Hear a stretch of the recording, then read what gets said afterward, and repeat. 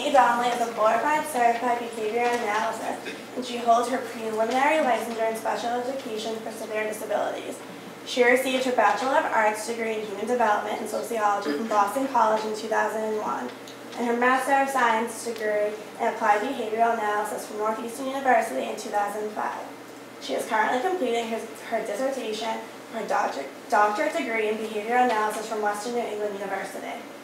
Maeve has worked with the New England Center for Children for 11 plus years, during which time she has worked exclusively with children diagnosed, diagnosed with autism spectrum disorders and their families. She is currently a program specialist in the residential program at New England Center, though she has worked in day school and professional development department as well. Today she will be sharing information gathered by herself and others diagnosis, prevalence, and treatments for autism spectrum disorders with an emphasis on treatments based on behavioral analysis. Here's me.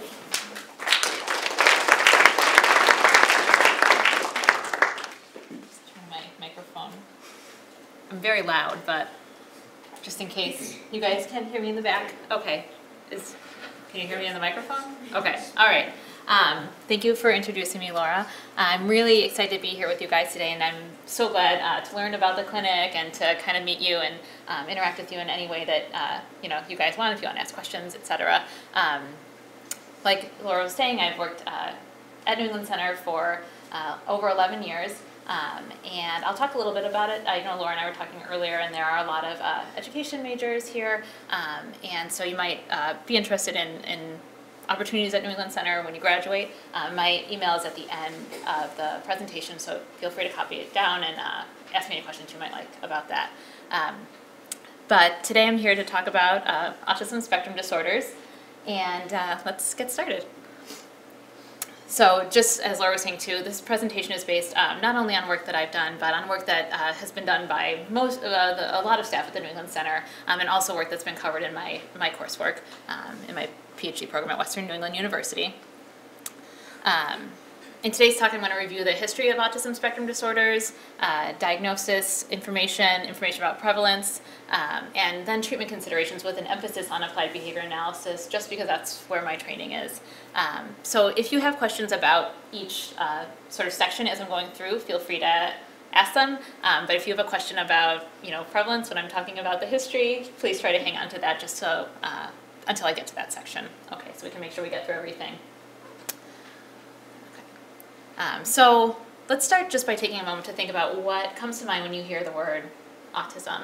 Um, and if you want to, feel free to shout it out. Um, I have a couple that I know people have come up with in the past. Anything? I know you guys work with kids with autism in the clinic. Uh, they're not as social. Not as social, yep, yeah. Yeah, Um, people don't usually have patience for them. I'm sorry, people don't have. it takes a lot of patience to do something like autism. Um, yep, sometimes uh, kids with autism and, and individuals with autism uh, might uh, behave in ways that are different than uh, what you are typically used to interacting with, and you might uh, have to repeat things a few times, and so it certainly um, takes patience. Yep. Yeah, yep, yeah, that's one of the uh, defining characteristics of the disorder is that there is an interest in sort of repetitive um, uh, play and uh, repetitive speech, etc. Yep. Um, sensory issues. Sensory issues, uh, you might see that, yep, there might be some unusual responses to sensory stimuli in the environment, definitely. Yep. Impairments in uh, the ability to communicate. Yes, yep, that's a key feature of the diagnosis as well. So, you guys are good. I, I was thinking, you know, when I usually uh, talk to people about autism uh, who may or may not have as much experience, um, they, they typically say, Rain Man. That's, there's a lot of, uh, they, they typically uh, uh, talk about media portrayals of uh, people with autism, so I'm really impressed by the knowledge base you guys already have uh, coming into this talk. Um, another thing that we often hear um, now is the kid Max from Parenthood from the, the show on TV. Um, a lot of people talk about vaccines. Um, there's a, a, good emphasis in the media sort of linking uh, vaccines with autism. We'll talk about that later in the presentation. Um, when I hear vaccines, I think Jenny McCarthy because, again, that's a sort of media thing that uh, pops up quite a bit. Um, and then, how about uh, ABA? Are you guys familiar with ABA, with applied behavior analysis? A little bit. Uh, we'll talk a little bit about that at the end of the talk. Um, so these are sort of uh, uh, uh, current perception of people with autism based on just uh, media and, and current current thoughts. Um, the concept of autism has changed a lot over the years, though. Um, awareness has increased over the past 20 to 30 years with better diagnosis, better treatment, uh, a lot of research. Um, you guys obviously have a lot of experience working with uh, people with autism. They are um, everywhere, so that uh, also might have shaped some of your impressions. Um, and just to review the origins of the diagnosis, the descriptor uh, early infantile autism was coined by Kanner in 1943. Um, autism literally means within oneself. Um, and so Kanner used the term autism to sort of describe the uh, people he was interacting with uh, in his practice. He was originally from Austria and immigrated to the USA. Um, and at the time when he was sort of uh, writing about autism and making his observations, uh, he suspected there was a genetic origin. But at the time, the the USA was uh, heavily influenced by the psychoanalytic approach. Um, so what people uh, typically attributed autism to back then was uh, parents being cold or indifferent towards their children and causing them to behave in a way that was sort of uh, enclosed within oneself. Um, so the term refrigerator mothers was used to describe um, uh, parents of children with autism. Have you guys heard that term before? It's kind of antiquated, um, but it certainly uh, was a prevailing sort of thought at the time. Um, and then at the same time, Hans, Hans Asperger, uh, who ironically was also uh, Austrian, was uh, identifying patterns of behavior that he called autistic psychopathy.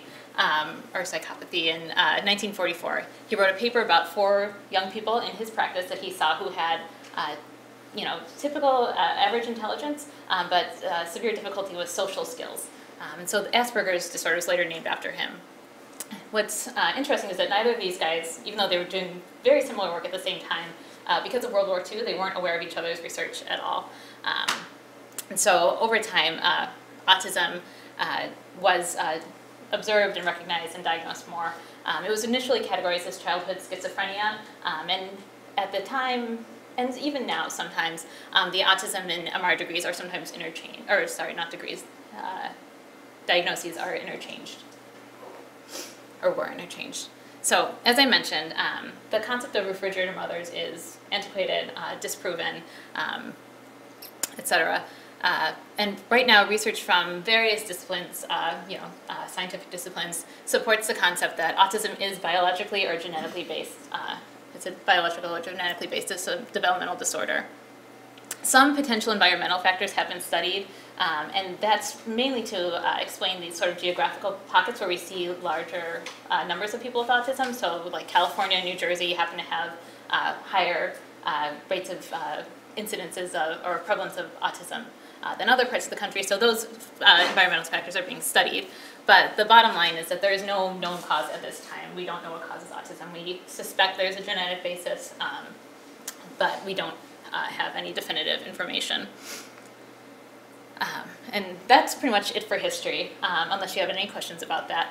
Um, we should talk now about diagnosis. And this information is gathered from a number of psychological sources, um, diagnosticians. I am not a diagnostician, I don't diagnose people with autism, um, but I wanted to review this information to give you all a general idea of what the diagnosis looks like.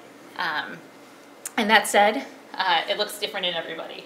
There's a great degree of variance among individuals with autism.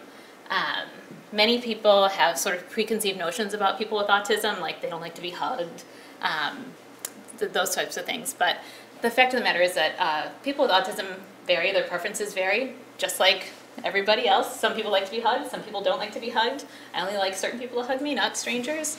Um, just so you guys all know later on, you know, after we meet, maybe we can have a hug, but not before. Um, so it's important to just keep that in mind that individuals with autism are going to uh, experience and display uh, characteristics that are related to their disability with various excesses um, and various deficits, uh, and it will all sort of uh, vary in terms of degree.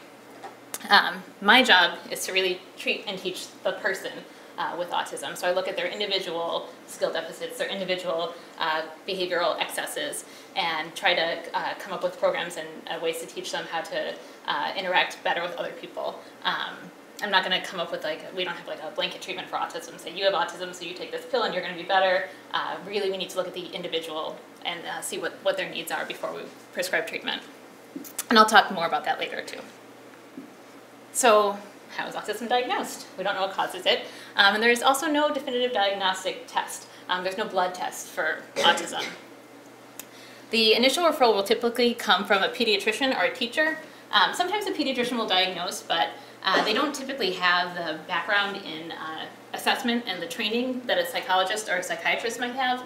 Um, so it's best really if your diagnosis comes from a psychologist or psychiatrist or a team of professionals who have experience working with children with autism, seeing what uh, different range of people with autism, what, what the diagnosis really looks like.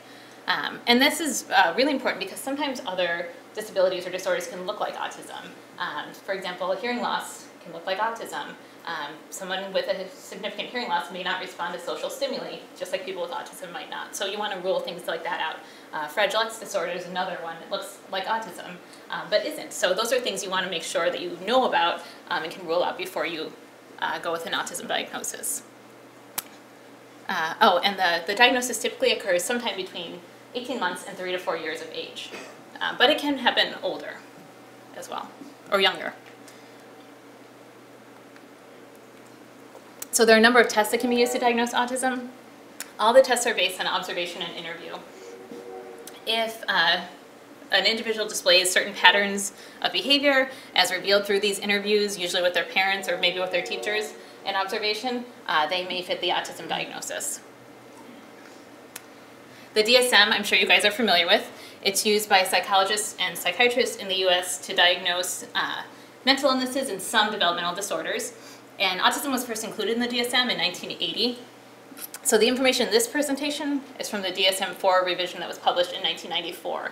Uh, but there is a new version coming out, which I'm sure, again, most of you know. It's uh, set to be published in May. So there will be a big change uh, pertaining to autism spectrum disorders at that time. Um, and the, right now, uh, what we see is in the DSM-4, there's sort of an umbrella diagnosis of pervasive developmental disorders. And then there are five separate disorders that are diagnosed within that umbrella diagnosis.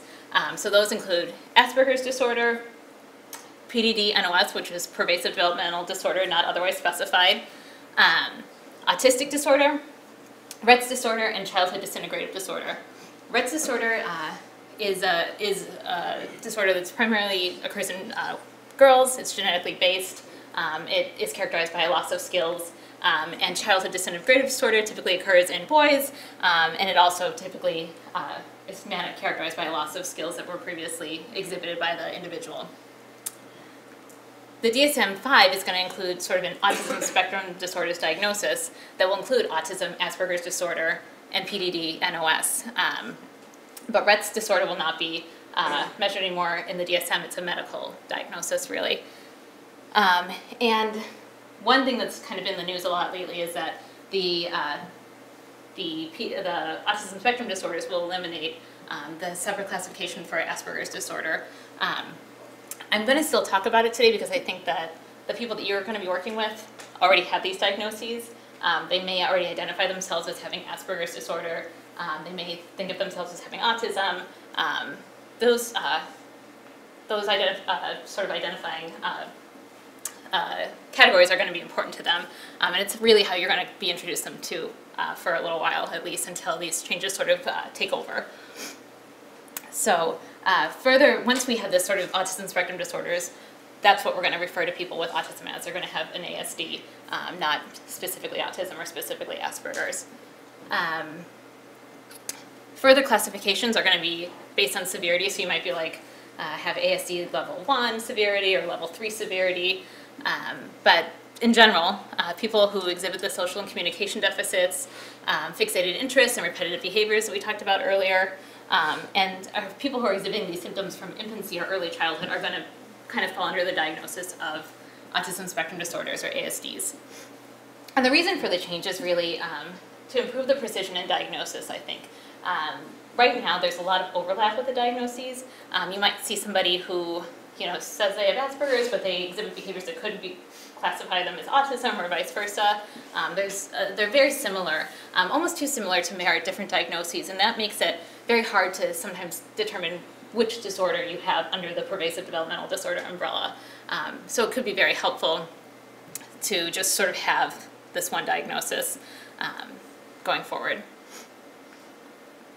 And today, I'm going to talk about the characteristics of autistic disorder, PDD, NOS, and Asperger's disorder, because again, these are sort of the most common diagnoses right now that you're going to see and work with uh, people with these diagnoses.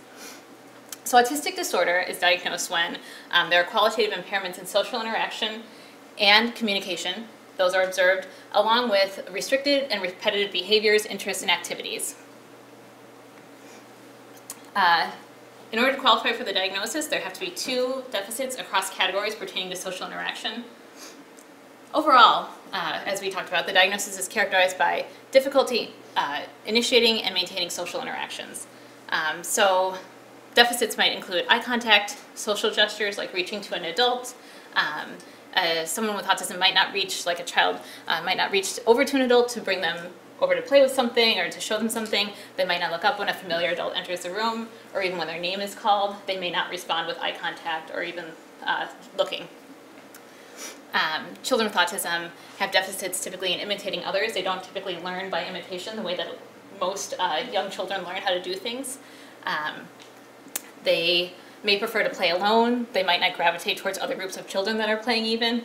Um, there's a lack of joint attention skills. This is sort of a defining characteristic of uh, children with autism, and it basically means that they, children, uh, typically developing children between the ages of 12 and 18 months, will typically use some kind of gaze shift or they'll point to something that they want an adult to label, um, look, and then the adult says, oh, look, it's a car.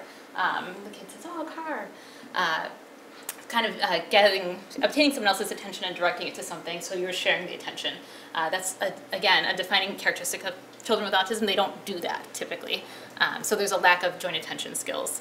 Um, they may not identify or respond to emotions in others. There's typically a lack of empathy observed in children with autism. And the take-home point is really that their social barometer is off. Um, and that affects everything that they do.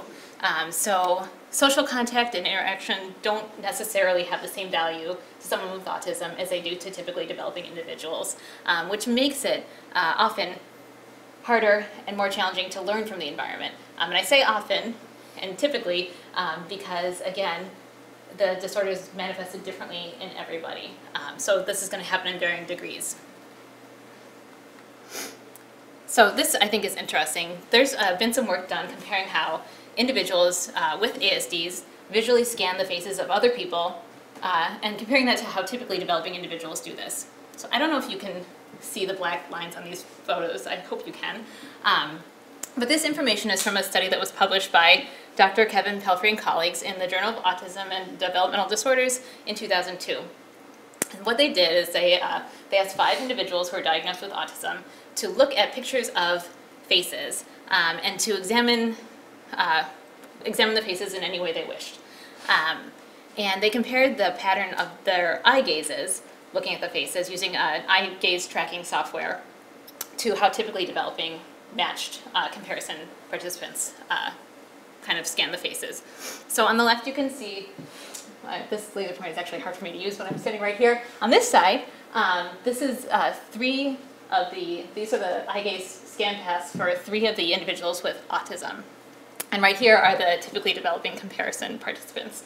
Um, and as you can see, uh, when told to look uh, kind of at people's faces any way they wanted to, um, you can see that people with autism kind of had these sort of uh, uh individualized, uh, unusual patterns of looking at people's faces. I say unusual because when you compare them to the typically developing people, they all looked at people's faces or eyes and down to their mouth, the place where expression is really um, expressed on your face. Um, the people with autism looked kind of, maybe they were just looking at the eye of somebody, maybe they were fixating on their chin, um, but you didn't see this uh, very standard sort of eyes and mouth. This is what they found when they asked the participants to detect emotion in others.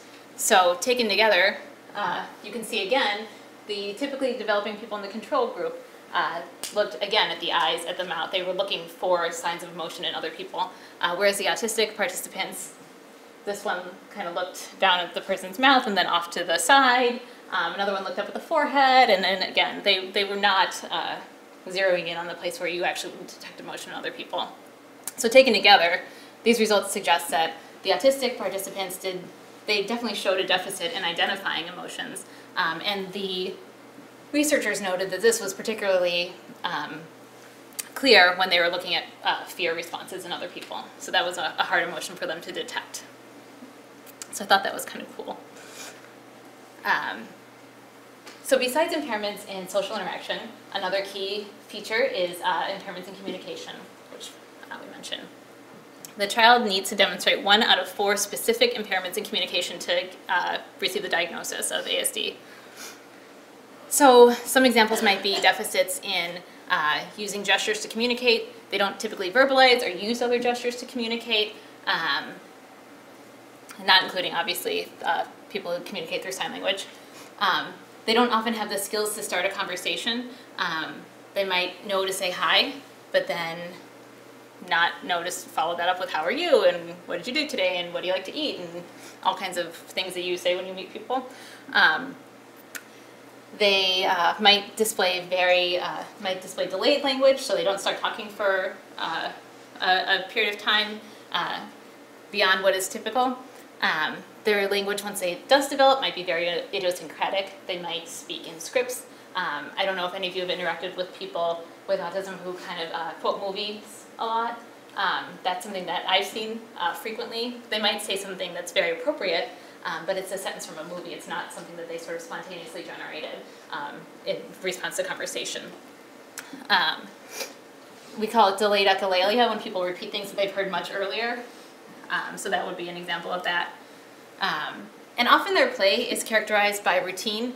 They may, you know, play with the puzzle and they always put it in the same order, or they may have like this train set and they always set the trains up on this on the track and just put them there, and that's how they play. It might be very simple play, um, just compared to their peers. And many children with ASDs also use alternative or augmentative communication devices. Um, this is something you will certainly contact a lot if you're working with individuals with ASDs. Um, they might use something called PECS. Um, it's the Picture Exchange Communication System. And that is up here in the blue book here.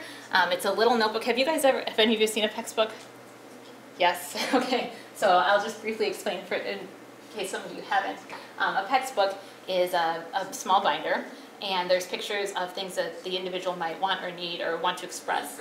Um, this yellow strip right here on the bottom is uh, like a, it's called a sentence strip, and basically the individual to communicate will go through, find the pictures, make the sentence that they want, put them on the sentence strip, and hand it over to the person they're communicating with. And this is typically used uh, with children who are nonverbal, who don't uh, have uh, vocal speech, but that might be used also to clarify if kids are hard to understand, um, if they have some other kind of communication disorder uh, on top of their autism, or uh, if autism just makes it difficult for them to communicate and they say, speak in one word sentences, um, it might be helpful for them to clarify. Um, and then there's also more high tech devices, um, like this thing here. This is a mini Merck computer. Um, it's a small device, it's probably like the size, a little smaller than an iPad. Um, not as small as the iPad mini, but a little smaller than a standard iPad, and it works in the, a similar way. Um, the, it's a touch screen, the children will touch the symbols, the symbols will come up here on this little um, white panel, and then they can push the button, and it will speak out loud what, whatever the sentence is. So there's, you know, benefits to this in that because it's a computer, it can hold a lot more communication. So it's a little bit more advanced than using a PECS book. Um, it does require less effort also, um, because with a PECS book you're kind of flipping through all these pages, putting a sentence together, handing it over to somebody. With this device you can just sort of talk, and then it talks for you. If you get what you want, somebody can be across the room and they hear you, um, etc. Um, these are, are pretty common, uh, I'd say, within the population of people with autism. You're going to see people using these. Um, and there are smaller ones too. I've seen people program things onto iPads or iPod touches, onto well, we used to have someone who used a BlackBerry, but those are kind of on their way out now. Um, iPads can be used for communication too. I know there's a lot of uh, media hype about iPads for autism, and iPads are great.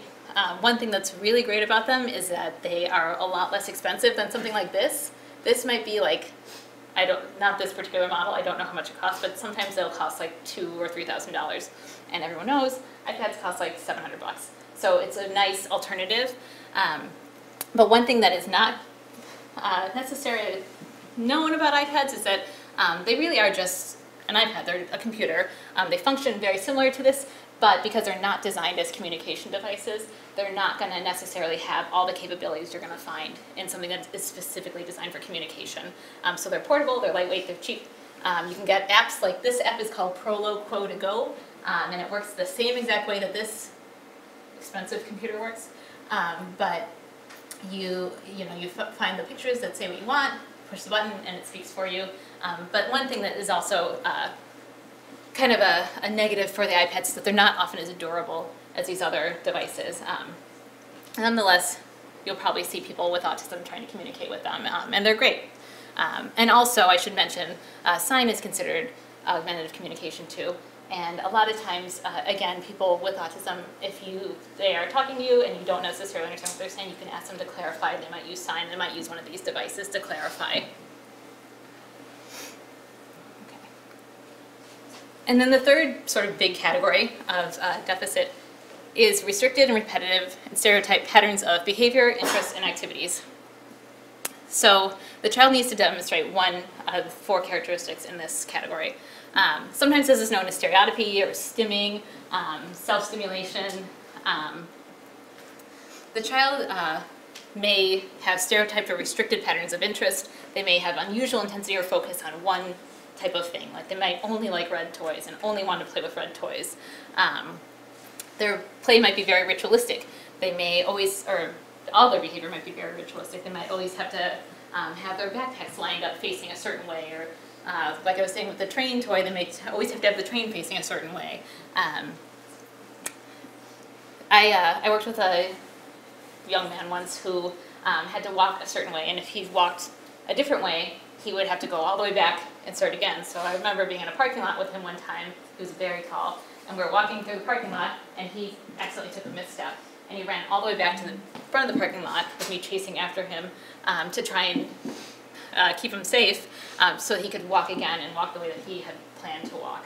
Um, so that that uh, is characteristic of people with autism. Uh, sometimes, again, varying degrees. I have to keep on saying. You may see, uh, again, it's insistence on specific routines or sameness, like with the pattern of walking. Um, you may see people with autism uh, engage in some kind of like hand flapping or rocking back and forth when they're standing, um, hand wringing, shaking objects, um, repetitive motor mannerisms, like I was saying. Um, they may be uh, preoccupied with parts of objects, so they may play with a, love, you know, this toy car, and the way they play with the car is to just have the wheels spinning. Just hold the car upside down and play with the wheels. Um, that's uh, something that you might see. It's important to note, though, that everyone exhibits these types of sort of restricted or um, repetitive behaviors in some form. Uh, again, we call them stereotypies sometimes. Um, research that we've conducted at the New England Center uh, shows that typically developing children exhibit stereotypy about 8% of the time. Uh, the difference, though, for individuals with autism is that uh, because they uh, may display unusual focus uh, towards that stereotypical behavior, um, it interferes with their learning. So, like, I can twirl my hair um, and listen to somebody talk. I can tap my foot while I'm waiting in line and know, you know, to move forward in the line. Um, those are all examples of stereotypies. Um, but uh, again, I can attend. For someone with autism, uh, that intense focus on that behavior that they're engaging in uh, may prevent them from attending to other things entirely. So it can interfere with their learning a lot. This is a graph comparing stereotype behavior of children with autism in black um, with that of typically developing children in yellow. And this is from a study done at New England Center um, that was published in uh, the journal Research in Developmental Disabilities. Um, but this graph is a little bit different than the one that was actually included in the published study. I thought I'd show it to you just to emphasize that typically developing children also engage in these behaviors. Um, and therefore, stereotypy alone is not a reason for the diagnosis. Um, so you can see the ages are down here, two-year-olds, three-year-olds, and four-year-olds.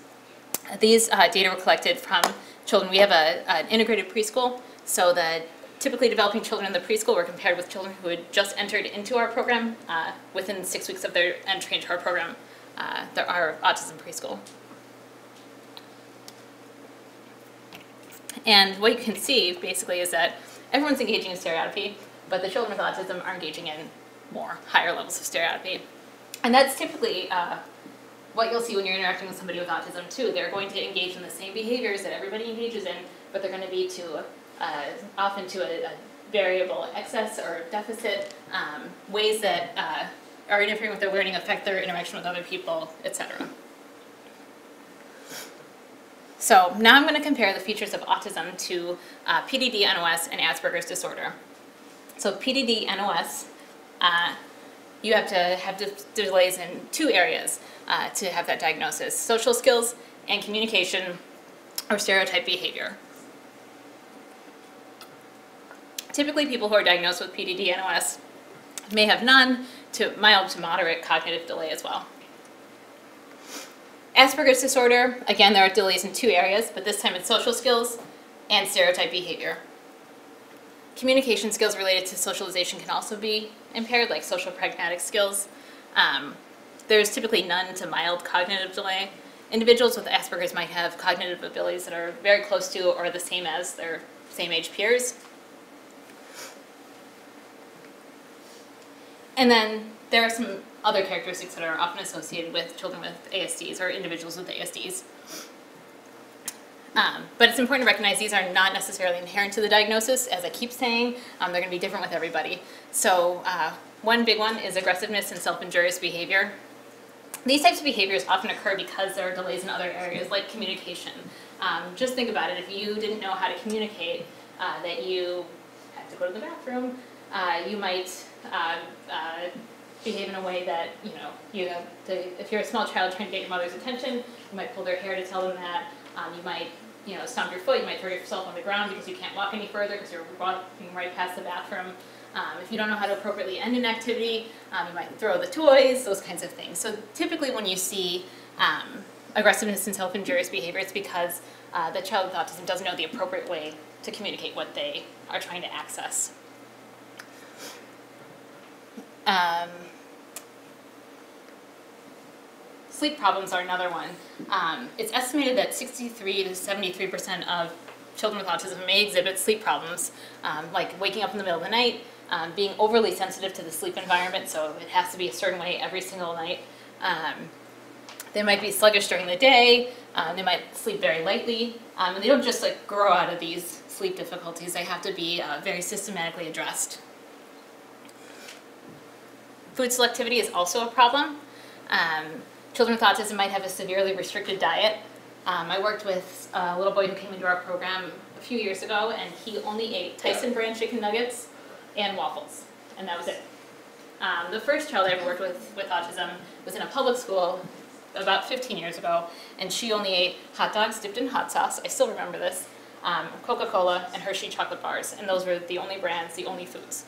Um, so we might see this. You might see kids with autism uh, who specifically only eat white foods, or they only eat chicken McNuggets, and that is it. Um, and this is something that we can teach them uh, to overcome. We can teach them to accept new foods.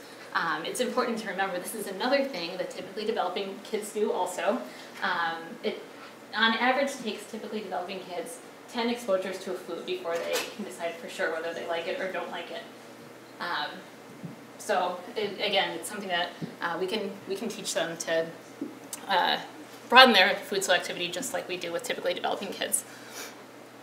Now, on the flip side, up to 25% of children with autism might have exceptional abilities, um, including splinter skills. Um, so if their functioning level is a certain level, like they need help brushing their teeth and tying their shoes and getting dressed, um, but they can read at like a, you know, college graduate level, um, that would be an example of a splinter skill. And like I was saying, up to about 25% of children with autism might have these, these special skills that they do really, really well. Um, savant skills are another thing. This is, uh, savant skills are, are what you would see like Rain Man's presentation is sort of savant-like. Um, up to 5% of people diagnosed with autism have these savant skills. And what, they're similar to splinter skills in that uh, their functioning level might be maybe lower than the average uh, population of typically developing people but they have these uh, sort of exceptional abilities to complete math computations or know what day of calendar, you know, what day of the week some long ago calendar date occurred on. Um, they might be very good at music. This is like the stories that you hear about people, little kids who sit down at the piano and can play Mozart um, the first time they sit down. Those are an example of savant-like skills. Um, they may have unusual responses to sensory stimulation, like we were saying earlier. Um, they may display a short attention span. They may have abnormal mood or affect. Um, maybe something that you think is going to really make somebody excited and happy, and they're going to be so excited when they see it, they don't even care at all, it appears. Um, that's a sort of an abnormal affect. Um, and they may have unusual fear responses. Um, kids with autism might have a lack of fear in response to real danger, so not they don't know how they don't have good self-preservation skills. They might, you know, um, try to climb on a banister or walk along. I've actually I could do this. The have you has have you ever been to the Natick Mall? Anybody in here? The second floor they have like the kind of railing. If you walk over the railing, you're going to fall. Um, I worked with a kid who wanted to walk on the railing of the Natick Mall second floor, and that's very dangerous. Um, but it looked cool to him apparently. Um, it was terrifying to me. Um, but then on the flip side, they might have excessive fearfulness in reaction to harmless objects. Um, so, you know, um, they may see a door that they've never seen before and be very nervous about it. Um, so these are things that are kind of associated with autism. And there are also things that are diagnosed typically, uh, not typically, but uh, they may co-occur with uh, ASDs. So those things are intellectual disability, um, other types of mental illnesses, um, seizure disorders uh, often co-occur with autism, and sometimes kids won't have a seizure disorder until they get to be about their teenage years, and then they start to have seizures. Um, something important to be aware of, just in case you observe somebody with a first-time seizure. Um, it can be scary and dangerous, uh, but it, seizure disorders are treated effectively with medication. Um, Tourette syndrome, ADD or ADHD. Um, pica is another one. Do you guys know what pica is? It's ingestion of non-food objects. So, um, you know, kids might eat. Uh, there's nothing small up here, but cotton balls or um, pencil erasers, things that are not food objects that might be in their environment. And sometimes kids will, uh, who exhibit these behaviors, will, uh, you know, exhibit other problem behavior to get to those items. Um, I worked with a kid once who liked to eat straw wrappers. Um, so I remember I was at Pizzeria Uno with him, and he ran all the way to the back of the restaurant, the service station, took all the straw wrappers and shoved them all in his mouth. Before, as I'm like chasing after him, like, excuse me, people, I'm sorry. Um, it was uh, quite an experience, but those are the kinds of things that you watch out for. That can be very dangerous. Um, that one's a little bit humorous because I just picture me running through Pizzeria Uno. I laugh about it now. At the time, it was not funny. Um, but you know, kids might swallow batteries or things like that too. So it's something to be aware of and be very careful about. Um, overall, the diagnosis affects learning, um, and in these uh, sort of six specific ways I'm going to talk about. Uh, motivation is a problem for kids with autism typically. Um, understanding complex concepts might be a, a, problem. The need for frequent practice um, is a challenge in learning. Kids with autism may have difficulty attending. Um, they often display a unique learning style, um, and they might have difficulty generalizing skills. And what that means is basically that they can, uh, they may learn something in one context and not be able to perform in another context. You know, they might learn how to wash their hands in their home bathroom, and they can do it perfectly, and that's great. Uh, but when it's time to wash their hands in the bathroom at McDonald's, they can't do it. Or with a certain person, they might be able to do it, not with other people. Um, they might not know that you know, a picture of a car is the same thing as a car on the road, it's the same thing as the word car, it's the same thing as a car that you see in the movies. Um, so no, being able to, to display skills in multiple areas and uh, recognizing multiple stimuli might be a problem. Uh, I see I am going slowly because we have a lot, uh, a little bit more to cover um, and not too much more time. So I'm going to go a little bit quickly, but like I said, if you have any questions, please uh, let me know as we're talking.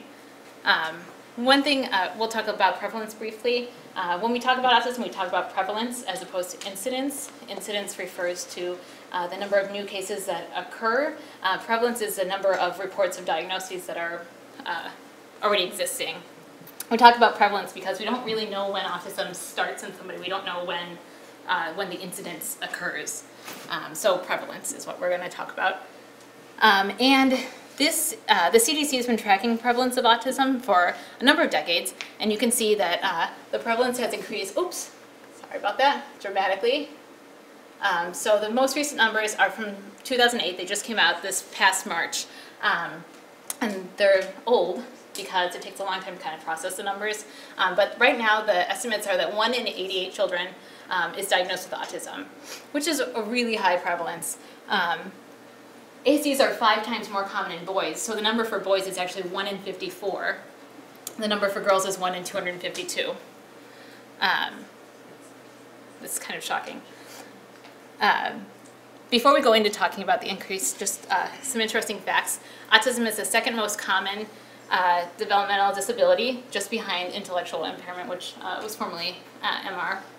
It's more common than multiple sclerosis, cystic fibrosis, childhood cancer, cerebral palsy, Down syndrome, AIDS, and diabetes.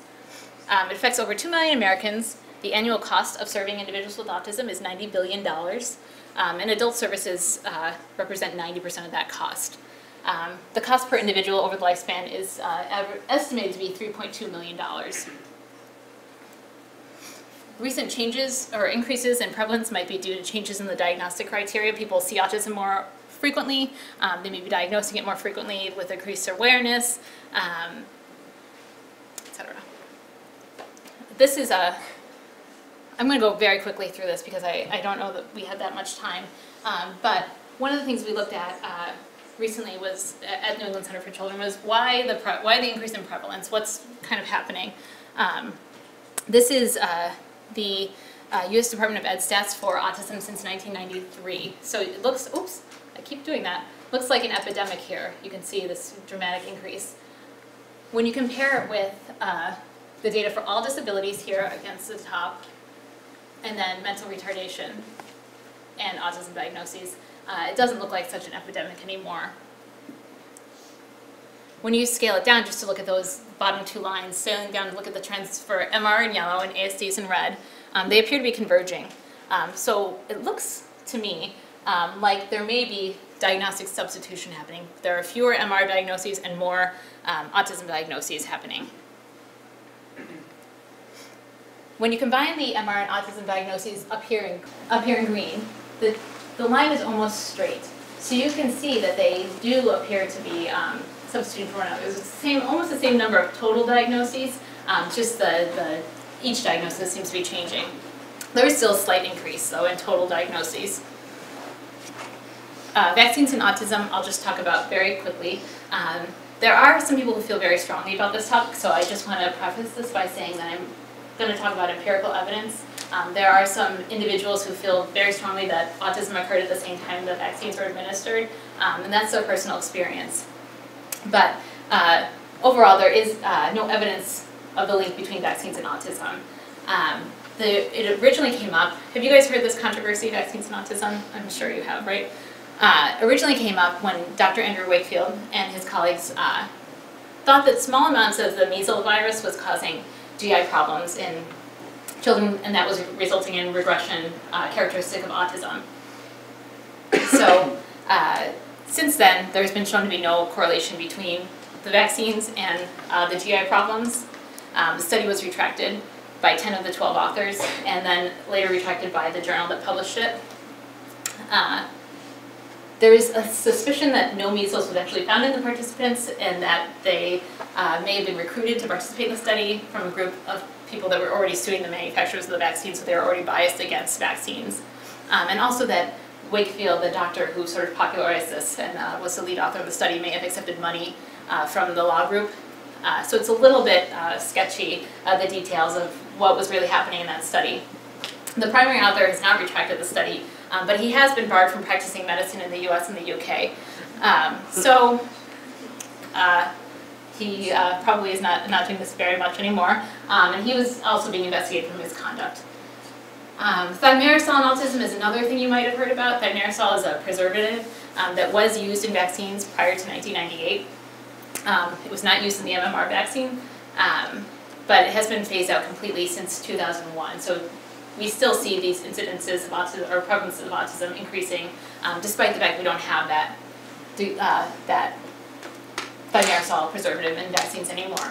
And there have been a number of studies that have disproven any link between autism and thimerosal, um, which was that preservative. Um, it can be challenging because I think a lot of parents who um, subscribe to the vaccines and autism theory um, want an explanation, and it's frustrating because there isn't an explanation. Like I was saying, we don't know why autism occurs.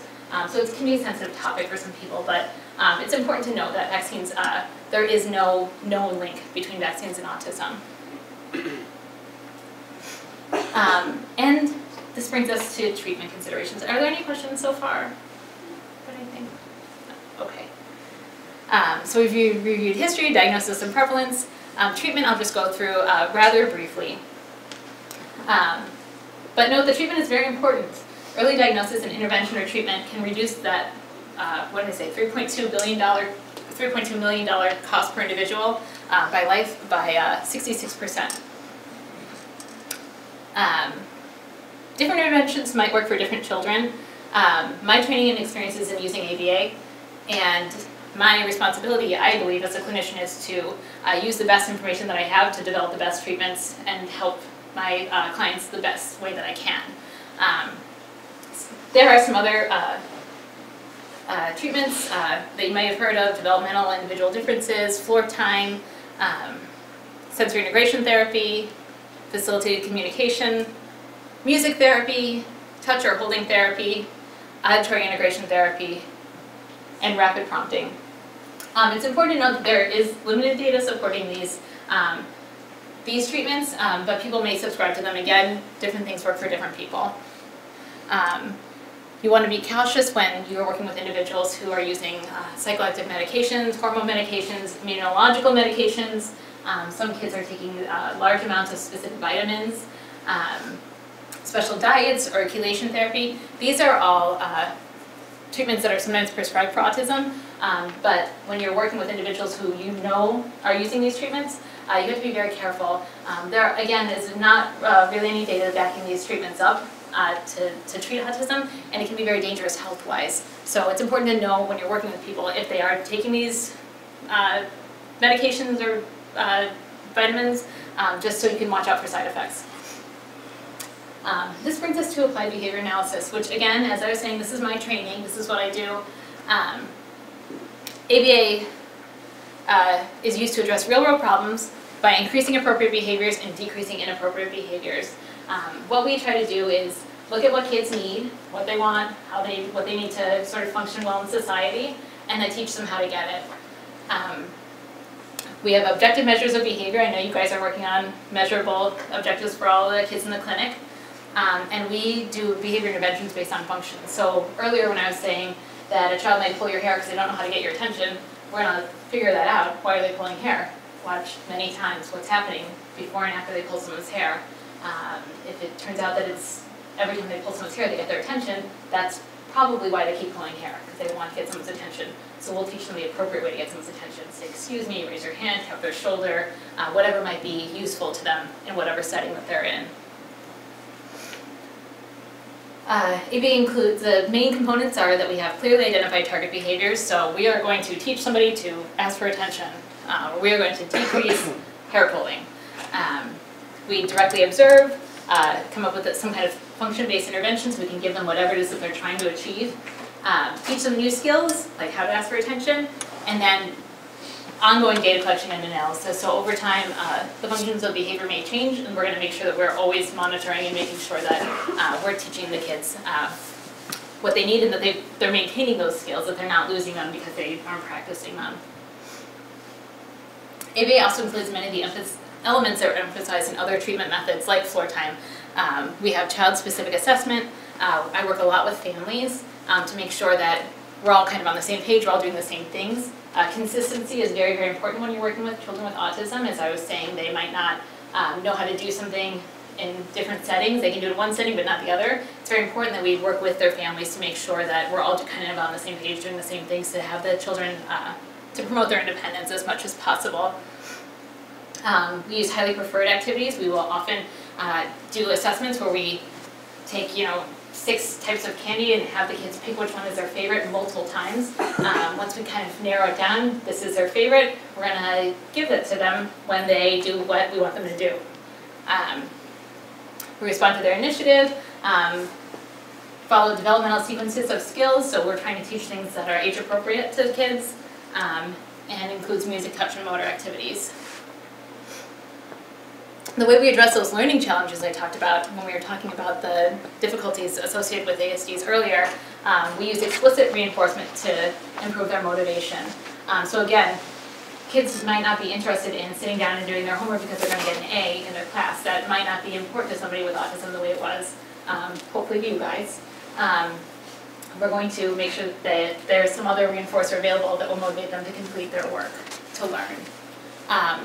When it comes to understanding complex concepts, this is something you're probably gonna have to do when you're working with kids with autism. You're gonna have to break down the skills. So something simple like toothbrushing, you guys do it without thinking, you brush your teeth. There's actually like twenty-five different things you have to do when you brush your teeth. You have to turn on the water, you have to open the toothpaste cap, put it on, brush the different areas of your mouth. Um, when we're teaching these complex skills, we wanna break them down so we're teaching each step one at a time and then having the kids chain them together. Uh, frequent practice uh, is important. We want to make sure the kids really do learn these skills. They can do them in multiple places. Um, they can do them over and over again. Um, and they may need multiple times learning to brush their teeth before they actually can brush their teeth. Um, discrete trial instruction allows us to do that because we will repeat the same skill over and over again. Um, kids might have difficulty attending, like I was saying. Um, it's important to minimize distractions. Um, so in our program, the kids that we first get in, that we're first working with, that have now learned to sort of attend to what we're saying, they might be working in a very small area that has partitions, um, like office partitions, um, with one teacher, just the two of them, uh, as we're trying to uh, promote their attending to us. They might have a unique learning style. Um, we teach in ways that minimize errors, um, so they're always doing what they should be doing from the get-go.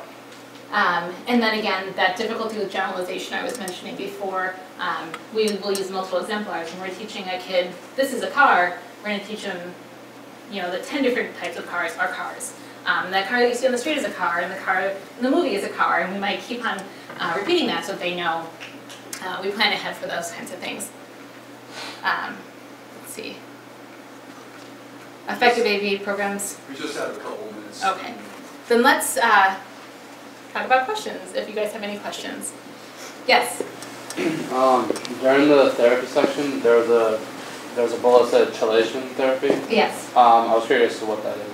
That is uh, therapy that is uh, used to uh, remove metals from a person's body. So there is a thought by some people that this is, again, there's no evidence, uh, no backing this up, that autism might be the result of excess heavy metals in an individual's body. Um, the chelation therapy uh, is used to sort of remove those metals. It can be very dangerous because you do need metals in your body to function.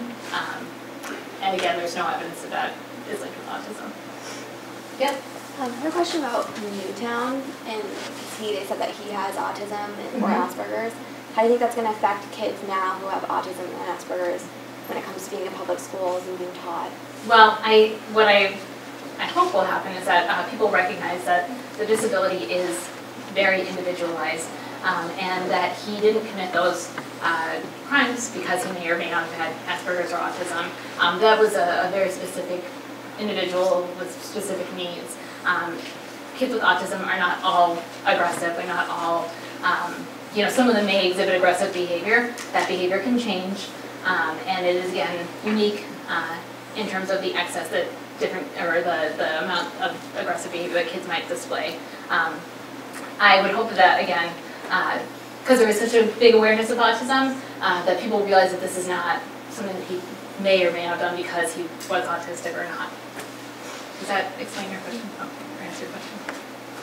Uh, when you were talking about the vaccines versus, um, kind of as people's theory as to why, how autism came about, um, do you believe that autism is brought about by something within the last hundred or so years, or do you think it's something that has been going on forever, just people are now recognizing it and? That's a good question. I think that there's a sort of combination of things going on. I think that um, we're more apt to diagnose autism uh, than we were in the past. Uh, In the last 20, 30 years, like I was saying, awareness has really increased. So someone who might have gotten a diagnosis of of MR 40 years ago now may have been classified as autistic. Um, So there's, there's that component, um, just increased awareness. But also, um, you know, there, there is some evidence that there is, could be environmental determinants. Um, there is a genetic, uh, link that has been shown. Uh, it's very, it's emerging, we have emerging information, but we don't have anything really definitive yet. Um, so there's probably a combination of things going on. Um, also, uh, a couple months ago, I read an article that, uh, there, um, some research came out where they could have changed the diagnosis that would have like affected about like fifty percent of the population, taking away their label. That is kind of what's happening now. Is that, is that likely to happen due to just how expensive it is, how expensive it is to, uh, as you had care for an individual with autism where they'll find ways to kind of slim down the diagnosis or are, are they actually, are they over, over That's a, a little bit of a loaded question. Um, I think, uh, it, you know, there's no question that there's a lot of funding available for people with autism, um, more so than for people with, who are diagnosed with MR. Um, so it might be more convenient to have a diagnosis with a, an autism spectrum disorder because you are, uh, just from a, a practical perspective, going to typically have access to more services. Um, and one of the reasons for that is that with a good early intensive behavioral intervention, uh, kids can lose their diagnosis of autism. Um, so someone who might be diagnosed with autism when they're two, by the time they're four, if they've been in a good intensive behavioral therapy for a few years, they might not display any of those characteristics anymore. It's just behaviors, right? So if it changes, it's gone. Um, and so a lot of money is given to early intervention programs for that reason. Um, so from that aspect, I, I think I'm answering your question. Uh, there may be more people diagnosed with autism uh, because it leads to greater services for them. Um, I, I would hope that uh, the diagnosis being changed a little bit will sort of focus in on the kids who really do have um, those characteristics of autism who really can benefit from the additional services. Um, there is that is happening where kids, the diagnosis uh, is being changed. So kids who are diagnosed with Asperger's disorder, um, that diagnosis will not uh, be administered anymore. Um, I think, just from my knowledge, that people who are diagnosed with Asperger's disorder, and that is their identity, and that's how they know themselves, they will still probably identify themselves as having Asperger's disorder, um, but it is just not going to be recognized as a separate developmental disorder. Yeah, last, last week we had a gentleman speak to us from the University of New Hampshire, as I recall, Mhm. talking to you about this morning. Uh, Spoke on including Samuel, which is, uh, his thinking behind this film is for full inclusion. And of course, you're working at New England Center, and these, and this is a large uh, educational program Correct. with, and these children are not in the public school.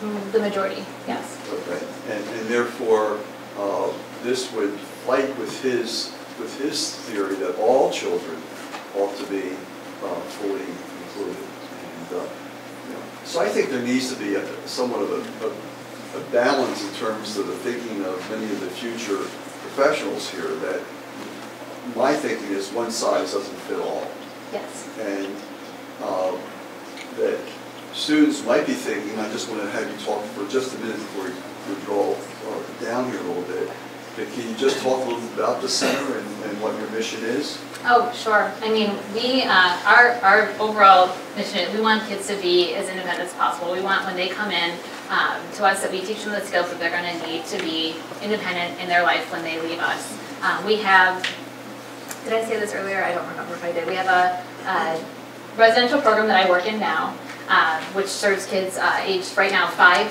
through adulthood. Uh, So we have people in their 40s. Um, we have an early intervention uh, home-based program for kids who are not yet school age, who've just been diagnosed. Uh, We have an intensive instruction program, which is like a day school program uh, that serves kids preschool age up through age 22. Um, We have uh, an inclusion program, so kids who need support in their public school system, we have teachers that will go out and support them in their public school system. We have partner programs, so we have classrooms that we've opened up in public schools um, with our teachers in our program. Um, The kids might uh, attend our program for most of the day and then go maybe to gym class with their typical peers. We have a, a lot of uh, ways to accommodate the different individual needs of people. Um, Now, the kids that I work with in the residential program, I work with the youngest residential kids, so they are five years old. And if you're five years old and you are going to live away from your parents, um, it is probably because you have a a severe level of need. These are kids that cannot be served in public school effectively. Um, They live with us because they need 24-hour teachers, consistency, um, people to help them around the clock. Um, Our goal is to get them to a less restrictive environment. So if we bring them in when they're five years old And we're working with them, we're teaching them how to brush their teeth, we're teaching them how to stay safe and how to not hurt themselves or others, um, how to communicate, those types of things. Our goal is to eventually move them to a less restrictive environment, so maybe then they move uh, to sort of a transition program where they're living with a family, but not their family, but a family where they're working on teaching them. Then they move in with their family. Um, Or maybe they uh, are with us for a short period of time, then they transition back to their public school. Uh, Then they transition back to living with their parents. And so these are, these are goals we have overall. We, we want to teach those individuals their skills that they need to be independent. Well, thank you. I just wanted to come in here and talk about this a little bit because there are professionals who may be looking uh, a year or two, three years out, and, and you guys are located out in Framingham? We're in Southborough now, South- yeah. Southborough, Yep. okay? And it might be something you might want to consider. Yeah, okay? please feel free to email me, copy down my address, I can answer any questions you might have. Also, check out our website. Um, We offer uh, generous benefits packages, um, and we can share that information with you, but it's also just a great environment to uh, work with kids, really feel like you're making a difference, and work closely with kids and their families um, who are uh, experiencing autism spectrum disorders. I'll turn this back to work. Yes, I'm presenting to you on behalf of CPD. Oh, thank you. Excellent, thank There's one there for each of the three of you. Oh, thank you.